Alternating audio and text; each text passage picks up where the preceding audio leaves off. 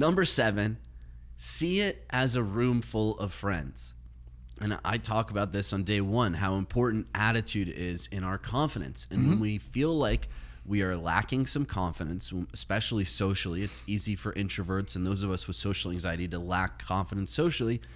Well, it's very easy for us to see and picture and visualize all the ways we're going to fail.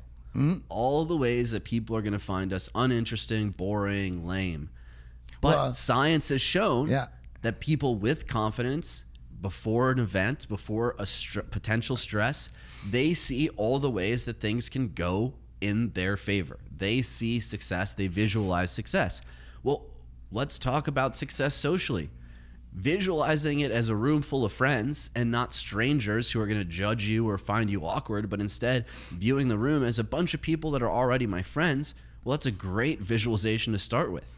We have Edgar Guest as a as a as a poet, and in 1915 he had wrote, "There are no strangers here, only friends you haven't met yet." I've heard that saying many times, and it's it's a great one.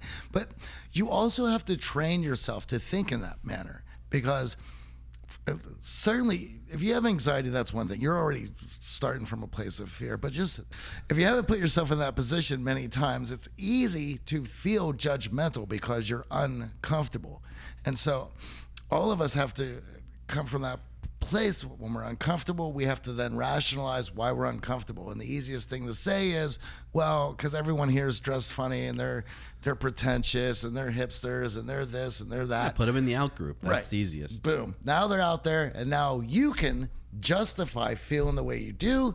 And then, but the thing that happens out of that is once you've put them in the out group, that your body language is usually going to exhibit that as well, which only forces them in a position to mirror that back. And now you have that thought reinforced, and now you have those people looking at you uh, as an out group, and you're looking at them as the out group. Now, you cannot have a good evening with two opposing forces Right. looking at it in that manner. Listen, instilling a new mindset is not easy. This whole mindset of view it as a room full of friends can be difficult when we don't have very many friends and connections and we don't feel that people judge us properly or that we can make a good first impression. And a TEDx speaker, Kelly McGonigal, talks about how to effectively manipulate and, and change your mindsets. And it's really a three step process. Number one is simply learning the new perspective, which is what we're doing now. We're mm-hmm. listening to this new idea, this new concept of view the room as it's a room full of friends instead of a room full of strangers. So we learned a new perspective. Now, we have to do it as an exercise. Go out there after writing down this mindset, go out there and practice it, pretending Yes. people are your friend already, treating everyone like a friend instead of treating them like a stranger. And the third thing you have to do to make this mindset stick with all of her research is you have to share it with other people. How great is that? It's pretty awesome. It's remarkable. You learn it, you practice it, then you share Sure. with other people, and all of a sudden that new mindset sticks. How empowering is it when you walk into the room and feel that everyone is already your friend?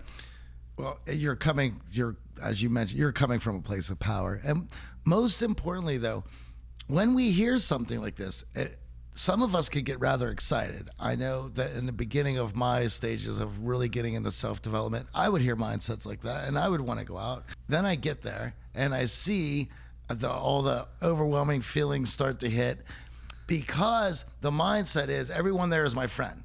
Okay, well, then I should be able to talk to everybody in this room. Well, now the oh, expectations are now- just ridiculous because now I have to run the room in order for me to feel that this mindset is now taking place. It is a process.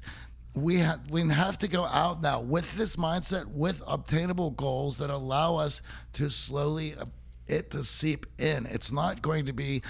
I listen to everyone out there. I would love for these mindsets to be a light switch, and some can be, but most not. Right. And this this is a tricky one when we're coming from a place of scarcity where maybe we don't have very many friends, we have some acquaintances, we're trying to get things moving and burn off some of that social anxiety.